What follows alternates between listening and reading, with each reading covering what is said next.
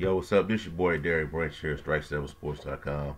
This is another episode of Strike 7 Sports Podcast. I'm joined by my co-host, Brian Botta. Um, Lee Elton Seaberry, he'll be um, be on soon. Um, but this is another episode of Strike 7 Sports Podcast, so we're to jump right into it. Um, this week, uh, well, this past weekend, it was the uh, Super Bowl, Super Bowl 56. The Rams won Super Bowl, their first uh, world championship since um, 1999, pretty much 20 years ago. They won that Super Bowl. I remember it. I was in a like freshman in high school, showing my age, but I remember that team. Pretty explosive, just like this one. Um, good wide receivers, running back, all that whole nine yards. They won the Super Bowl. Pretty much the same type of way with great players on both sides of football. But what I want to get into is how this team was built. Um, a lot of people are starting to see, hear a lot of conversations online about not being, you know, this as this method of building a team like this to win a Super Bowl as being a little too risky, a little too dangerous. I wrote about this in an article a few days ago about how this team was constructed. I just want to just go provide a quick breakdown of the information I've gathered on how this team came together. It just didn't start this year. It started a few years ago. It's 2019, 2018. Well, matter of fact, I would say 2017 because they have made the playoffs every year since Sean McVay has been there since 2019, that year that San Francisco went to the Super Bowl. But they had pretty, they have pretty much been in the thick of it. And I'm just going over some of these moves the Rams, the moves the Rams have made over these years, these past couple years. They've added, um, they gave up two first round draft picks for Jalen Ramsey, a cornerback. Then they reached, they, they signed Jalen Ramsey to a new deal.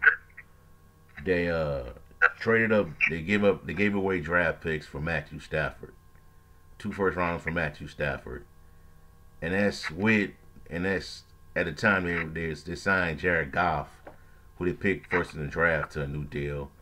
They unloaded that deal, give it to Detroit, and they got Matthew Stafford and give up those draft picks. They also traded for um, Von Miller, give up picks for Von Miller. You signed A'Shawn Robinson on your defensive line. You signed Leonard Floyd, Leonard Floyd from the Chicago Bears. Then you re-signed him, paid him, um, you bring Odell Beckham Jr.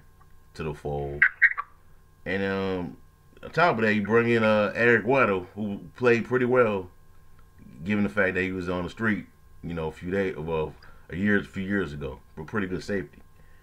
So, with that being said, I just want to ask you, if you were a general manager, Brian, would you utilize this method to build an NFL a Super Bowl contender? If you was in charge? It depends on uh, what situation I'm in. If I'm like in win now mode, or if I'm like rebuilding or retooling, tooling, then it may be a different situation. But yeah, I love what the Rams did, uh, and also they're in Los Angeles. Uh, that's a pretty nice destination for yeah. free agent uh, to join up. But yeah, I love the Rams did. They went all in. They were aggressive in the moves they made. They didn't back down I think that's a big reason why they're champions. It's hard to win in any sport without taking risks, taking chances. And I remember analysts I really like, really good point. I'll take players over picks any day. Bucky Brooks, you, you probably heard of that. Yeah. So I agree with that. Uh, and so I love the Rams did. They went all in, and I think that that's the number one reason. Obviously, they had a little bit of luck, but they all, but you create your own luck too by um, working hard and putting yourself in position to be successful. And I think that's why the champs uh, give them. Yeah, um, I guess it was worth it. You know, they got a Super Bowl championship from it after all the moves that they made. But I don't know if I would have gave away all of my picks, man. You know, it's just it's a lot. They don't pick again in the first round to 2027, I believe. You gave up two first rounders for Jalen Ramsey. Gave Denver a few picks. You gave up two first rounds for Matthew Stafford. I don't know if I would have did all that, man. Like I think I'm, I mean, it, it, it really don't mean anything right now, but I wouldn't have I wouldn't have rushed to pay uh, Jared Goff, man. I would have I would have made those moves, but I would have tried to keep my picks and and and build through the draft because if you have a good scouting department, you should be able to find good cornerbacks in the draft, no matter which round it is. Um, I would have made that move for Stafford though. That's the I, I pretty much pretty much would have did that. I understand the move for Von Miller, Stafford signing Odell Beckham Jr. But I to give up all those draft picks, man. I, I, I would rather build through the draft and save that money, save that cap space to sign for agents. You know, cheap talent, um, and just don't be tied up to all these contracts. You know what I'm saying? But I understand what the Rams did. They went for it. It worked out. Um, LA is not a bad market to be in, and they won the championship. And also, they're playing a really tough division. So you gotta give them credit for that because you got Russell, you got Kyle Shanahan, Kyler Murray, and they lost to uh, the 49ers and Arizona in, the regular season. They still they were able to get over the hump. But I give them credit for that though, man. But I, I wouldn't have gave up my draft picks like that because this stuff is risky, man. Because what if this stuff falls? What if this stuff fails? You know what I'm saying? Then you stuck with some expensive talent, expensive players with no draft picks to get rid of them. Well, you have to get, you get rid of them, but you don't have nothing to get back. To get get those picks back, you gotta get rid of them. But credit to the Rams, man. They made they made um risky decisions and it worked. So uh, Super Bowl title it was worth it. And another thing I would like to say is, um, I just think that they're under pressure. You know, they just moved from St. Louis to Los Angeles. You go into a town where the Lakers are pretty much the number one draw. You got USC USC football there. They're pretty big. Um, Clippers got a, a base fan base to a certain extent. So you gotta. They, I mean, I guess the ownership came down and said, "Hey, look, man, you gotta make moves. You trying to sell tickets? We got a new stadium.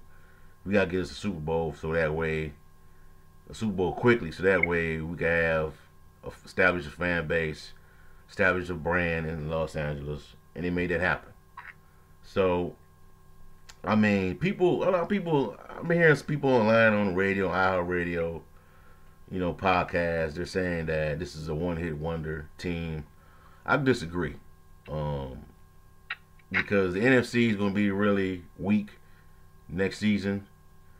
You know, for right now, from based on what we see right now, um, I think the biggest threat is uh, the 49ers. 49ers and Green Bay if they decide, if Aaron Rodgers decides to, to come back. So I think they can run it back, in my opinion. What do you think? Yeah, I think they can run it back too. Like you said, the NFC is weak. Tom Brady probably, we believe, going to retire. I still think there's a slight chance to come back, but uh, he's probably not going to be back. And even if he does come back, they'll beat the uh, Bucs again. Yeah, their main threats are Aaron Rodgers, uh, Green Bay if he comes back, the 49ers, and then maybe Seattle. Yeah, they, maybe. Just have Russell Wilson, but that and Pete Carroll, but I don't know about the rest of the team. And then if maybe like some of these teams that really have good defense, but, but don't have a quarterback, get a really good quarterback, then we can see that. But yeah, the, if I had to bet money, I'd probably say they're the favorites to represent the NFC in the Super Bowl. If I had to bet money today. Yeah. Um. Is a, is a um least path to resist, resisting right now for the NFC for the Rams. Um, all the, all the action is in the, in the AFC, in my opinion, but we'll see. All right, so we're gonna um, segue to this next topic on the NFL, and that's our uh, way too early picks of the top the top five teams in each conference, NFC and NFC, NFC and AFC. So I'm gonna just go ahead first with this one. My top five teams, my way too early top five teams in the AFC right now are the Chiefs, the Cincinnati Bengals, the Buffalo Bills, the Baltimore Ravens, and the Tennessee Titans. in regards to the NFC, I'm gonna go LA Rams, San Francisco 49ers, Green Bay Packers, Dallas Cowboys, and for this 15, I'm leaning between the Tampa Bay Buccaneers and I think it's gonna be a real. This might be a sleep, sleeper team, but I think they're gonna be really good. The Minnesota Vikings.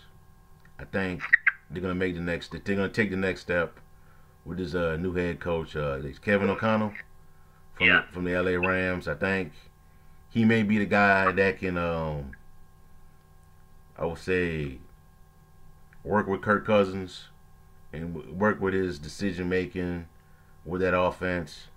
The pieces are there on both sides of the football. The pieces are there. Um, Sean McVay, uh, another Sean McVay uh, clone. You got one in uh, in uh, Cincinnati. Now you got one in um, Minnesota. So I, I expect him to be really really good this year. You may give the Packers a run for the um, for the NFC North, but that's on my five teams right there. What do you got? Yeah, I probably. I'm not sure if I disagree with anything. I don't know. Did you have the Chargers in there? No, I didn't put the- Chargers. No.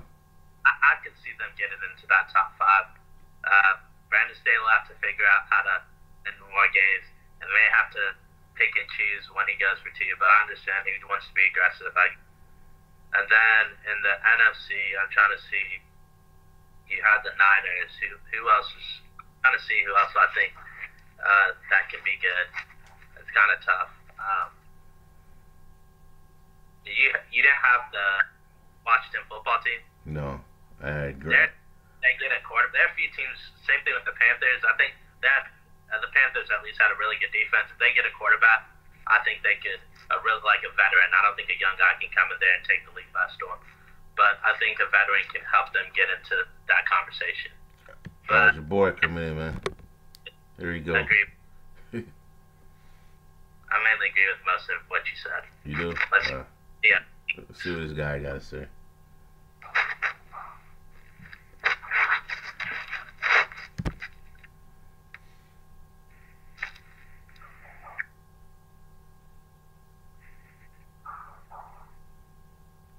Where you at? I don't know. Hold on. I'm coming up. He joined.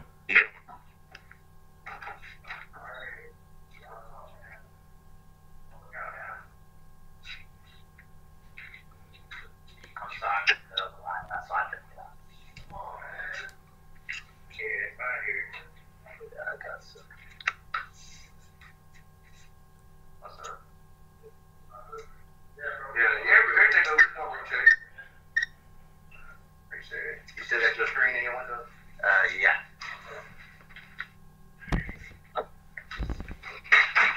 Had to handle some little housekeeping stuff. But yeah, I'm good. He said he request. Yeah, what else he going through, man? He ain't going through. He ain't popping up.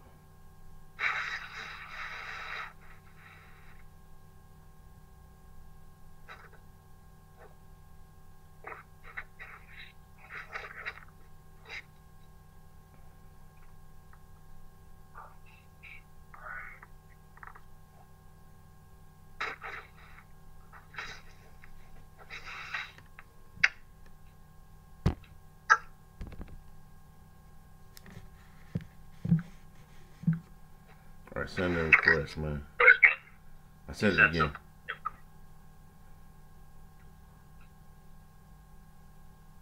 All right, there he is. What up, man? Hey, how you doing? All right, you good? You ready? Yeah, I'm ready, man. Hey, hey. So what we was talking about in the beginning, I want to ask you. Um, we talked about the Rams and how they built the team pretty much through sacrificing their uh, draft their draft picks in order to build a Super Bowl contender roster and sign you know a couple free agents here and there. I want to ask you, would you use that if you was a general manager of NFL team? Would you utilize that strategy to build a Super Bowl a contender?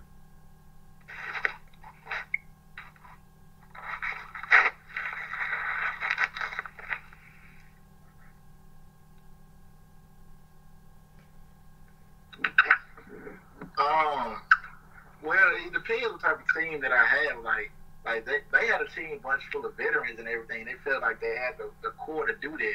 And when you had a core to do that, and you have they have the ability to and the flexibility to take on such uh, salaries and all that, then then you okay, I can see why they did it, but. Um, it, it would depend on my roster. They had the roster and they had the flexibility to do it. So when you have the money and the flexibility, then okay, it makes sense. But it, it was a big risk too, though, because if they didn't win the championship, everybody would have just said they was they was just they they went they went um big time and, didn't didn't make it. So they made it and they won. So it's a successful blueprint that I wouldn't mind using. But it depends. Like for me personally, if I was GM, I like my teams like with Jimmy Johnson. Like anybody everybody to be 25 and younger. So we like I like my teams young. I like them young. I don't like the old. I don't like too many old heads on the team because they think they know everything. I mean, I need kids that's ready to learn. Well, grown men that are ready to learn type thing. That, so I prefer to have a younger team, but going old gets you uh, titles, and so so the Rams won. So. I mean, they weren't that old. I mean, like they were like thirty. Matthew Stafford like was the oldest. Like, Andrew Whitworth, like forty. He was the oldest guy on the team, but I was telling uh, Brian, I prefer building through the draft, man. Building through the draft, utilizing my scouting department. Um, everybody on the rookie deal. My quarterback, you know, he young. And we just save money. I, I just save money, save that money from save that cap space money, that cap space money, and pay them guys. You know, and make make a, a move here and there. The only move I, would, I like, I like what they, what they would, I like, I, I would have did it was trade for Stafford. That's when I would start making my moves. When I when I trade for Stafford, pick up Von Miller. Um, I like that uh that Leonard Floyd move. That decision to resign him, that was a good move. Picking up A'Shawn Robinson, Robinson, that was a good move. They went and got Odell Beckham Jr. Let me ask y'all this: They had, they already had Van Jefferson. They had um Cooper Kupp. Robert Woods, Tyler Higbee, who didn't even play. They was already stacked at, on offense. So y'all thought they, they needed Odell? Really needed him? Well, for this run they did, because Robert Woods was out. Yeah. Higbee ended up getting missing the Super Bowl. But uh, it's gonna be. I don't know if you saw on ESPN. They're looking at free agent destination. They had uh, potential down to the Chiefs and Asa Adele is going to be coming off a torn ACL set. I could see him that like come back if he's willing to accept a minimum for a one year. They make a run without him, and maybe they can use it in the Super Bowl.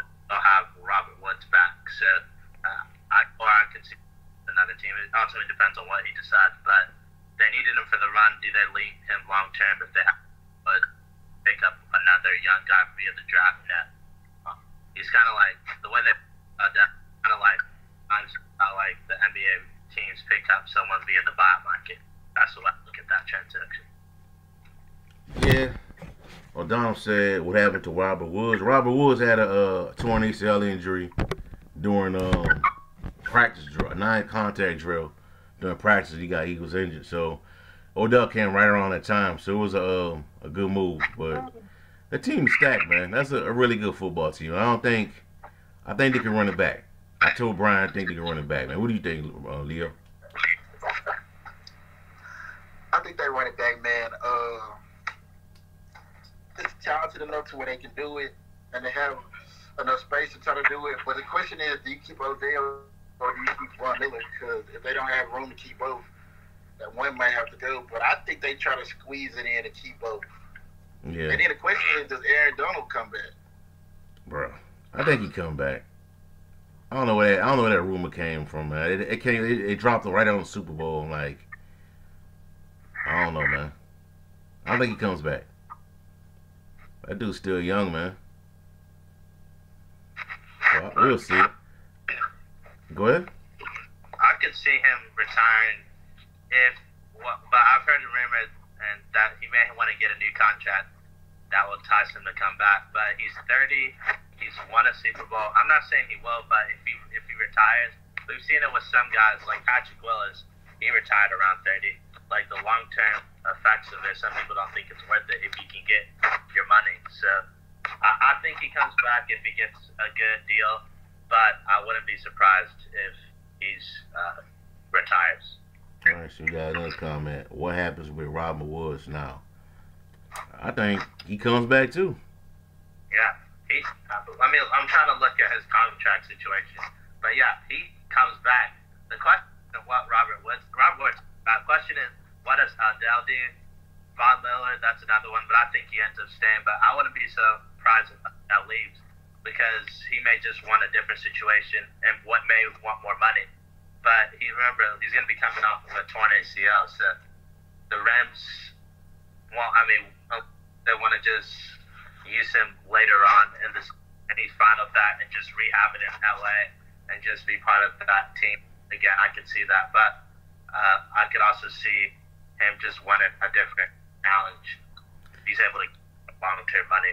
Maybe he'll probably, this year probably take up, come back to another team like the Chiefs, for example. That'd be a good fit.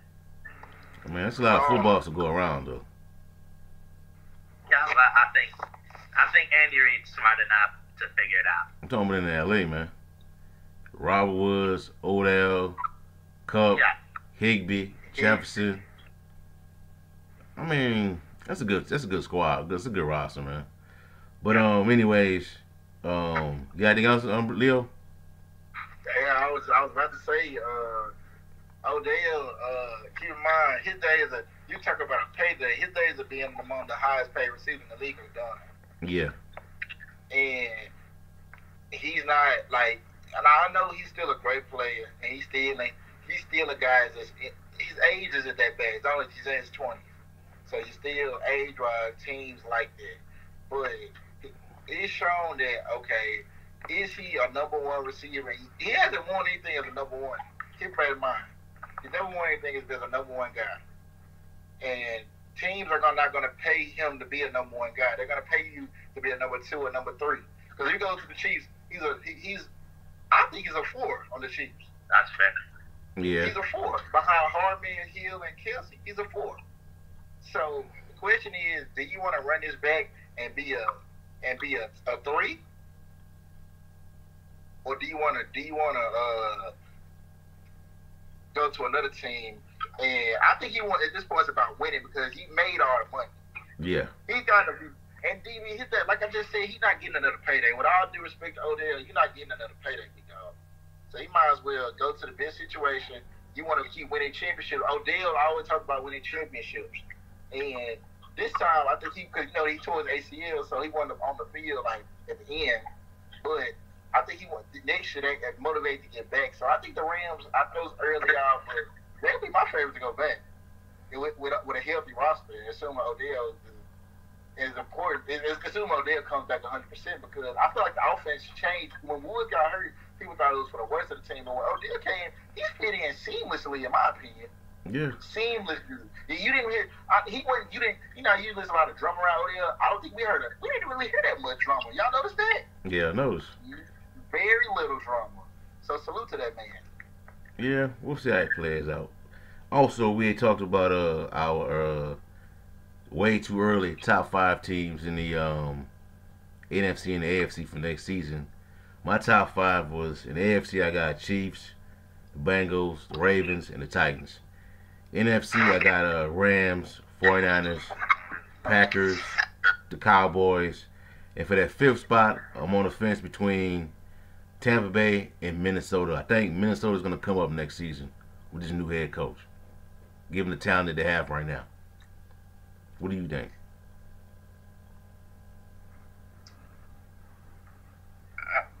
I, I think like I, I like your top five.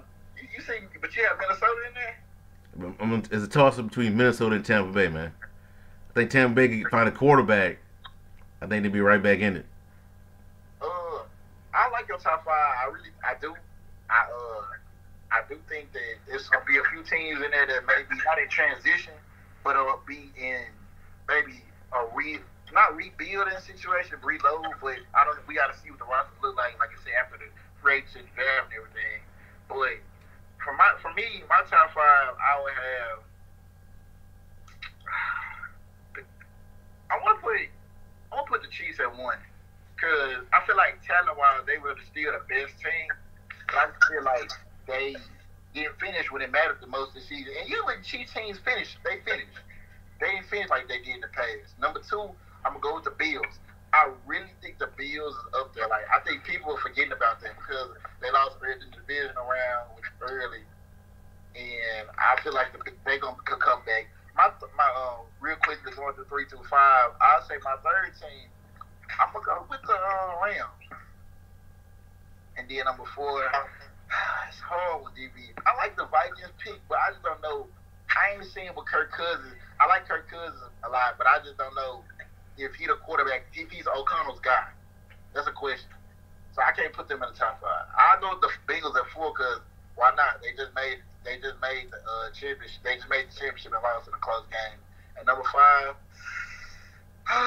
y'all, this team faded down the stretch, but when they had a healthy quarterback, they they did a lot of damage this year. I'm a, and I think they fixed their defense and they become the lead again the Baltimore Ravens. People are not talking about them. They, they got a new defensive coordinator. They hired that guy. I know Brian's really good with uh, what's his name? Brian. Who they hired from from Michigan? Mike Macdonald. He uh he, he was with. You're talking about the Ravens, right? Correct. Yeah, Mike Macdonald. He was with uh, John Harbaugh as their linebackers coach. Then he went with Jim Harbaugh to be the Michigan's DC. Now he came back to the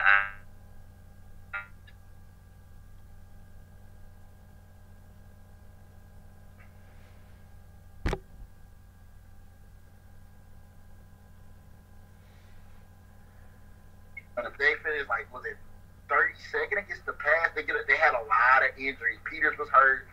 They have a lot. Put Lamar back in there, and a healthy Lamar, he's always a threat. So they range, they range, they round up my top five. Okay, that sounds good to me. Um, should be interesting. Should be an interesting off season. We possibly gonna see quarterback movement, but we're, we're gonna find out for sure next month. Agency period start March 16th. Um, combine, I think is, I think at the, end of, at the end of the month, if I'm not mistaken. So we'll find out. All right, so moving right along, our next topic, the Kyler Murray um, debacle down in uh, Arizona. Um, last week, there was a report that came out that uh, Kyler Murray went on his social media, all of his social media accounts, and uh, his platforms, and remove everything that's Arizona Cardinals related to his uh on his social media with the team. So the days after that happened, um, some more reports came out about him about Murray being selfish, um, not really all in on the team. Um, another report came from I think it was Chris Mortensen is that uh he puts his headphones on in at the uh in the locker room and just uh talk to his girlfriend sometime, not even not even interacting with the team, all those other things that are going on. And I got it pulled up right here on my screens that uh well, a few days ago, well, yeah, two days ago, Murray came out and um I guess try to defend himself of these uh, reports that uh, came out. Got it pulled up right here. Alright. Quote, I play this game for the love of it. My teammates, everyone who has helped me get to this position, that believed in me, and to win championships. Murray wrote. All, all this nonsense, this is not what I'm about. Never has been, never will be.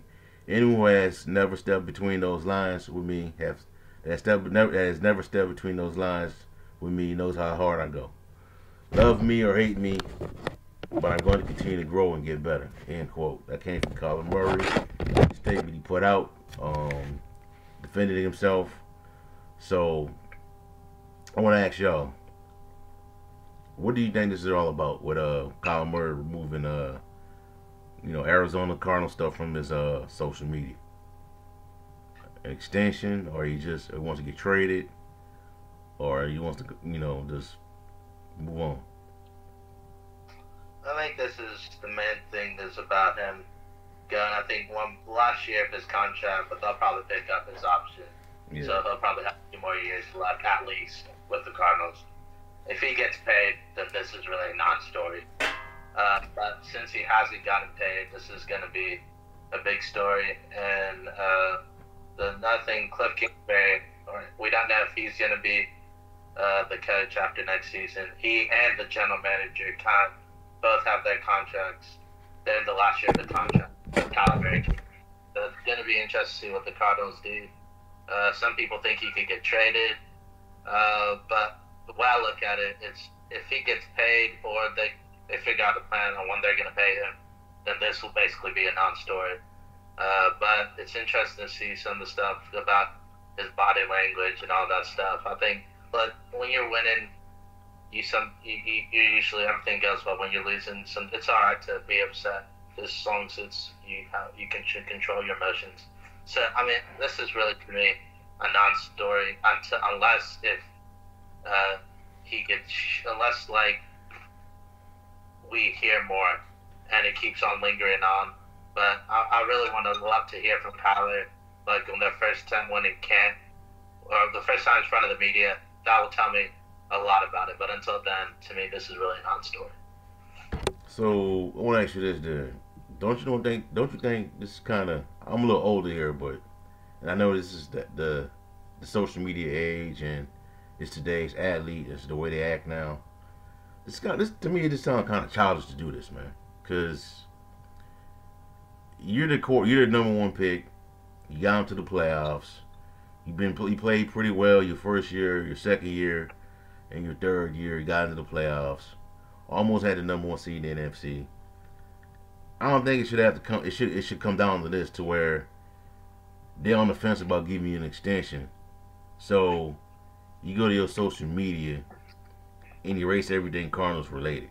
I mean, I think you should have that much cachet, much that much swagger within that organization to where you get with your agent and tell him you're ready for a new deal. You know, instead of you going to the social media route, route and do it, just be straight up with him and say, "Hey, look, I'm ready for a new. I, I believe I deserve an extension." You know, because where else are they gonna go? You know what I'm saying? You gonna you gonna more you gonna bomb a season and try to move on from this guy?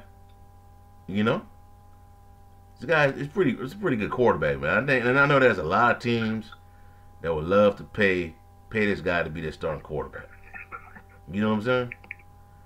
And if and this this is a situation, the Cardinal situation is interesting to watch because I think people talk about the Cowboys being Sean Payton's destination. Don't forget about the Arizona Cardinals, man, because they I think I think they're gonna take a step back next season, in my opinion.